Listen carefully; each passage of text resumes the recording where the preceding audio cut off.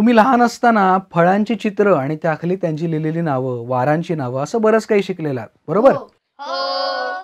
शाळांमध्ये अशा वेगवेगळ्या चित्रांचे आणि त्यांच्या नावांचे फलक लावलेले असतात.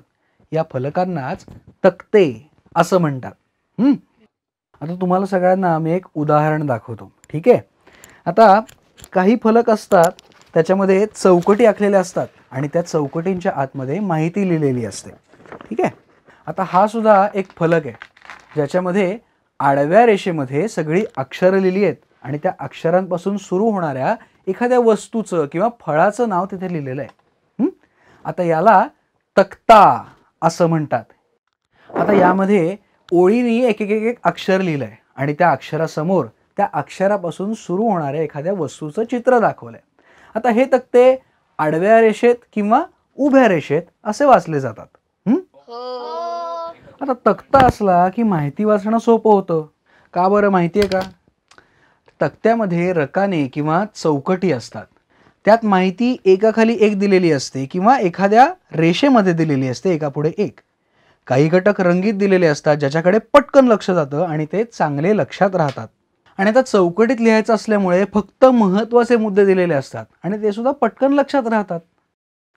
आता मोठ्या शाळेत जाताना रोज तुम्ही दप्तर भरता त्यामध्ये वह्या पुस्तकं ठेवता हो की नाही? ते करताना तुम्ही आधी शाळेचं वेळापत्रक बघता. उद्याचा वार कोणता आहे ते आठवता. त्याप्रमाणे त्या वाराचे कोणकोणते विषय आहेत ते तुम्ही आठवून त्याप्रमाणे सगळी पुस्तकं आणि वह्या तुमच्या दप्तरामध्ये भरता. हो की नाही? यासाठी तुम्हाला आडव्या रेषेतले वार आणि उभ्या रेषेतले विषय हे वाचता यायला पाहिजेत. वेळापत्रक हा एक प्रकारचा तक्ताच आहे. त्यामुळे वेळापत्रक तुम्हाला वाचता यायला पाहिजे. आपल्या शाळेचं हे वेळापत्रक मी तुम्हाला दाखवतो. दिसतंय सगळ्यांना? हां. आता हे तुम्हाला वाचता यायला हवं. हे बघा आडव्या रेषेमध्ये हे सगळे वार आहेत आणि उभ्या रेषेमध्ये रोजचे विषय आहेत. आता वेळापत्रक बघून आता आपण एक एक गोष्ट बघूया.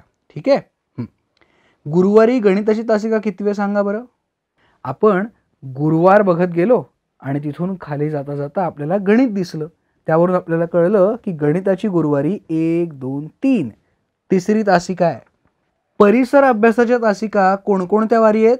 मंगळवार बुधवार आणि शुक्रवार. आता बघा बरं शनिवारी मराठीच्या तासिकेआधी कोणत्या विषयाचा तास आहे? मराठीच्या आधी गणित. बुधवारी शारीरिक शिक्षणाचा तास किती वाजता सुरू होतो? बुधवारी शारीरिक शिक्षणाचा तास दहा ते साडेदहा म्हणजेच दहा वाजता सुरू होतो. सोमवारी संगणकाच्या तासानंतर कोणत्या विषयाचा तास आहे? सोमवारी संगणकानंतर गणित विषयाचा तास आहे. ठीक आहे. आता कसं आहे? आलेख हा सुद्धा एक प्रकारचा तक्ताच आहे. आता तक्ता कसा तयार करायचा हे आपण आता वेगळ्या एका पद्धतीने समजून घेऊया. ठीक आहे? आपण आता इथून बाहेर जाऊया. हं? रस्त्याच्या कडेला आपण सगळेजण बसणार आहोत आणि समोरून जाणाऱ्या वाहनांची संख्या आपण एक पासून पुढे मोजत जायची. ठीक आहे? समोरून वाहन गेलं की ती संख्या मोजायची आणि सगळ्यात शेवटी वहीमध्ये ती लिहून ठेवायची ठीक आहे? अं, तू सायकलची संख्या मोजशील? हो चालेल ना. हं. मोटारची? हो. स्कूटर? चालेल. आणि बसची तू मोजशील? हो ठीक आहे. आणि रिक्षाची? अ, मी मोजू? तू मोजशील? हो. चालेल. या सगळ्या वाहनांच्या संख्या समोरून गेल्या की मोजायच्या आणि वहीत लिहून ठेवायच्या. ठीक आहे? चालेल. चला जाऊया आपण सगळेजण. वही घ्या आणि निघूया. चला.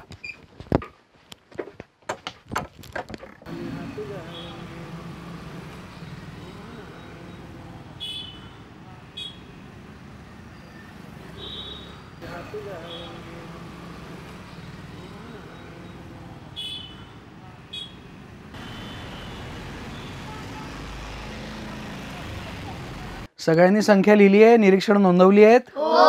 चला आता आपण एक तक्ता तयार करूया. ठीक आहे? मी फळ्यावरती तक्ता काढतो वाहनांची नावं लिहितो मला तुम्ही सगळ्यांनी संख्या सांगायची आहे. ठीक आहे? हो. हा. हम्म. ठीक आहे. सायकलींची संख्या कोणी मोजली होती? मी. हा किती होत्या? नऊ. ठीक आहे. मोटारींची संख्या कोणी लिहिली होती? मी. हा किती? एकोणीस. एकोणीस. बर. स्कूटर किती होत्या? बावीस. बावीस. बस? सहा. सहा. आणि रिक्षा? चोवीस. चोवीस. बर.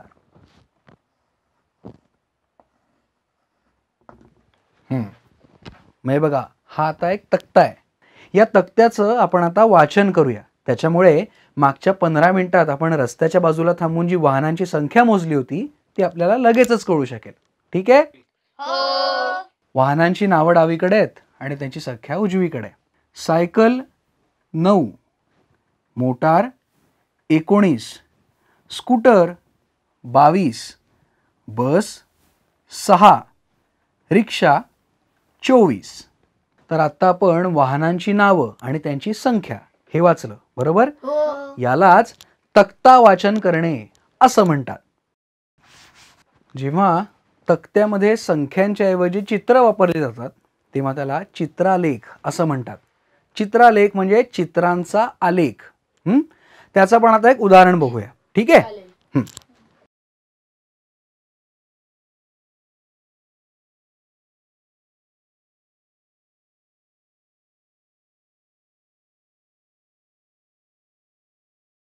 तर आता आपण हा तक्ता आणि चित्रालेख काढलाय. आता ह्याच्यामध्ये दुकानाचा प्रकार त्यांची संख्या आणि चित्रालेखामध्ये आपण त्या संख्या दाखवण्यासाठी चांदणीचा वापर केलाय. म्हणजे बघा खाद्यपदार्थाची पाच दुकानं आहेत म्हणून त्याच्यासाठी पाच चांदण्या आहेत. खेळण्यांची तीन दुकानं आहेत त्याच्या तीन चांदण्या आहेत. कपड्यांची दोन दुकानं आहेत त्यासाठी दोन चांदण्या आहेत. आणि इतर बाकीची कुठली दुकानं आहेत ती पाच आहेत त्याच्यासाठी पाच चांदण्या काढल्यात. हा झाला चित्रालेख. पण मला सांगा तुम्ही कोणकोणती वेळापत्रकं पाहिली आहेत? म्हणजे रेल्वेचं किंवा बसचं आपण वेळापत्रक पाहतो बरोबर? पण मग ते समजून घ्यायला पाहिजे आणि ते आपल्याला वाचता यायला पाहिजे. त्यातूनच आपल्याला त्या बसची किंवा रेल्वेची सुटण्याची वेळ पोचण्याची वेळ आणि वाटेतले थांबे हे लक्षात येतील. हो. बरोबर ना? हां. पण हे सगळं कळायला का पाहिजे आपल्याला? वेळापत्रक वाचता आलं तरच आपल्याला हव्या त्या गाडीचं तिकीट आपण काढू शकू आणि गाडी सुटण्याच्या आधी ती जिथून सुटणार आहे त्या ठिकाणी पोहोचू शकू. बरोबर? हो. आता शाळेच्या परीक्षेचाही तक्ता केलेला असतो. म्हणजे कोणत्या दिवशी कोणत्या विषयाची परीक्षा आहे कोणत्या वर्गामध्ये कोणते शिक्षक जाणार आहेत किती वाजता किती टोल द्यायचे आहेत हे सगळं त्या तक्त्यामध्ये लिहिलेलं असतं. हो की नाही? हो. तर तक्ते किंवा वेळापत्रकं अशी तयार केली आणि त्याप्रमाणे कामं केली की कामं ही बिनचूक होतात आणि वेळेवर होतात. बरोबर? तर आपल्या रोजच्या आयुष्यामध्ये तक्त्यांचं हे असं महत्त्व आहे. कळलंय सगळ्यांना व्यवस्थित? हो. हां. चला आता तुम्ही सगळेजण तक्ता तयार करू शकता? हो. चला आपापल्या वयांमध्ये तक्ता करूया आपण? आपण काय शिकलो? चौकटी आखलेले व त्यात माहिती असलेले फलक म्हणजे तक्ते होय. हे तक्ते वरून खाली किंवा आडव्या रेषेत वाचले जातात. वेळापत्रक हा एक प्रकारचा तक्ताच आहे. जेव्हा तक्त्यात संख्यांच्या ऐवजी चित्र काढली जातात तेव्हा त्याला चित्रालेख असं म्हणतात. चित्रालेख म्हणजे चित्रांचा आलेख होय. वेळापत्रक वाचता आले तरच आपल्याला हव्या त्या गाडीचे आपण तिकीट काढू शकू. गाडीच्या वेळेप्रमाणे गाडी सुटण्याच्या ठिकाणी पोचू शकू. वेळापत्रक केल्यामुळे व ते वाचून तसं काम केल्यामुळे कामं वेळेवर आणि बिनचूक होतात. प्रश्न एक. तर काय होईल ते लिहा. एक. दापोलीची बस चार वाजता सुटणार होती. राधानी वेळापत्रक पाहिले नाही. दापोलीला जाणाऱ्या बसमध्ये बसण्यासाठी राधा घरातून चार वाजता निघाली. दोन. वाजिदने वेळापत्रक पाहून दप्तर भरले. तीन. दवाखान्यात वेळापत्रकानुसार परिचारक आले. चार. कचरा गाडी वेळेवर आलीच नाही. पाच. रेल्वेचे वेळापत्रक पाळले गेले नाही.